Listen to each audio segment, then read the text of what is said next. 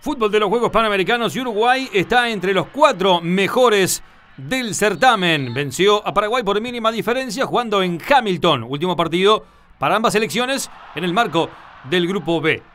La primera para Uruguay es este cabezazo del saltaño Formiliano y es el horizontal que ataja por el arquero paraguayo. A los 26 era dominio de Uruguay. Disparo de Nicolás Albarracín, el hombre del Montevideo Wander, tapa Nacho Don que así se estira contra el caño derecho y evita lo que perfectamente pudo ser el 1-0 para la selección celeste. Buena participación tuvo Brian Lozano, que aquí saca el remate y otra vez ataja Don de Nacho Don a los 31 y medio para cerrar el arco guaraní.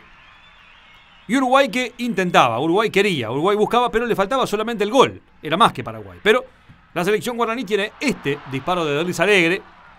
Se tiraba de amores, la pelota iba bien dirigida contra el palo izquierdo el único ataque de la selección albirroja. Nos metemos en el segundo tiempo y llega la tan ansiada apertura. Esa que Uruguay merecía.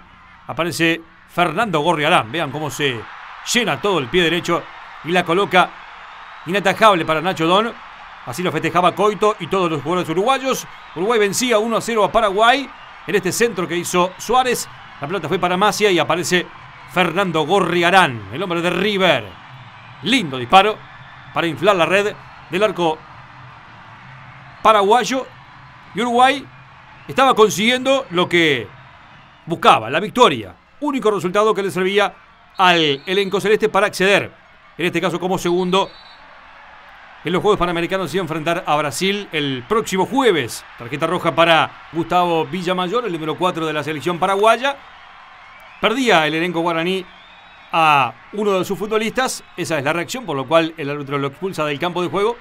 Y el final del partido. Uruguay 1, Paraguay 0 el próximo jueves. A las 18.35 en Hamilton enfrentará a Brasil para intentar llegar a la definición en el fútbol de los Juegos Panamericanos.